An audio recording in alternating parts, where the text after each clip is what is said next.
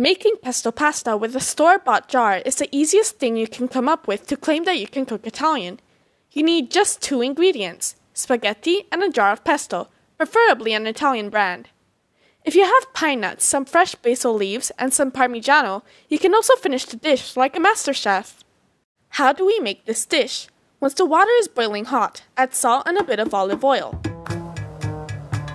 Break the spaghetti in No, half. You can fit no. better in the pot if they are shorter. Great way to solve the problem. Keep mixing to make sure it does not stick. On a side pan, heat up the pesto. Now the pasta is nice and super soft. Let's drain it and give it a rinse to remove that gluey stuff. ma che cosa fai?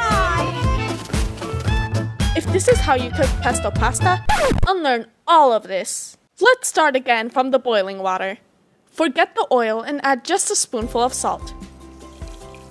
You don't put the spaghetti in the water if the water don't boil in very strong way. Drop the spaghetti without breaking them. Gently push them down under the water as they soften. You don't need to put oil and you don't need to stir the spaghetti for a long, long time.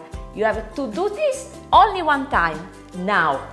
Indeed, you don't need to keep stirring, for good Italian pasta won't stick. How long do I have to stay the pasta in the water?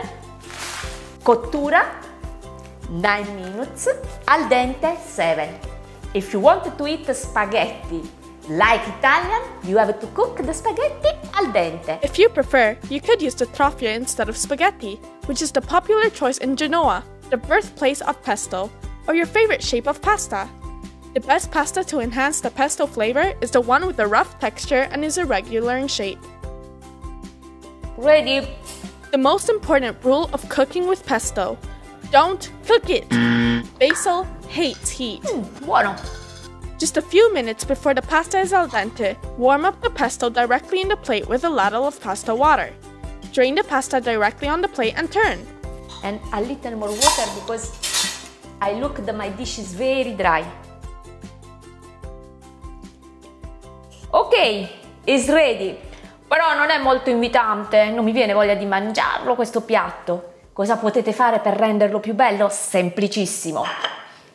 Qualche pomodorino, qualche pinolo, qualche fogliolina di basilico fresco, tagliata rigorosamente con le mani, infine scagliette di parmigiano.